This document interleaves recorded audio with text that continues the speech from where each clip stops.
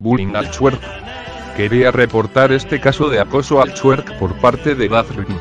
Un usuario de Twitch puso en el chat al ser más divino del universo, y después de eso, Dad le baneó del chat, esto no me parece bien. Dad dimisión.